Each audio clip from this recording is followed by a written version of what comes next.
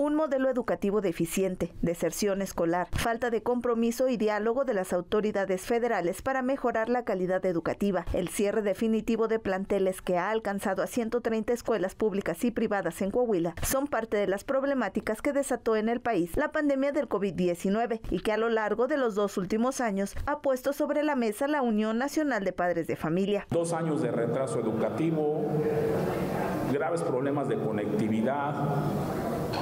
Creo que la mayoría de los que estamos aquí tenemos hijos y vivimos y lo vimos en nuestra casa porque el modelo educativo en este país no está diseñado para clases a distancia, sino para un maestro que esté al frente y que tenga que estar de forma presencial teniendo un contacto.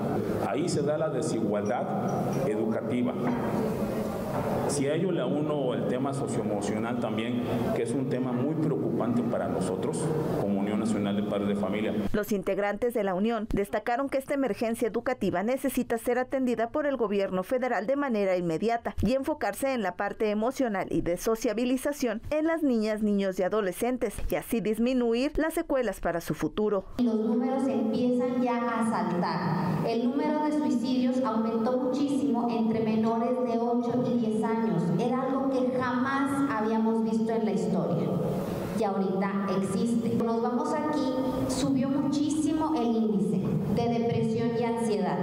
Entonces, eh, lo que estaba yo escuchando también de algunos especialistas, así de manera integral, lo que vamos a esperar, si no se atiende de manera integral la emergencia que tenemos ahorita, tanto de educativa como emocional, queremos ver estos niños que empezaron en preescolar, en pandemia, que vienen con un déficit, ¿cómo van a llegar a, a la secundaria? Estos temas fueron tratados en la reunión que sostuvo la Unión Nacional de Padres de Familia, donde se tomó protesta a Christopher Hernández Ramírez y a José Luis Carrillo Domínguez, quienes fungirán como presidentes regionales en los municipios de Matamoros y Saltillo respectivamente. Con imágenes de Gerson Cardoso, informó para Telezócalo Diana Rodríguez.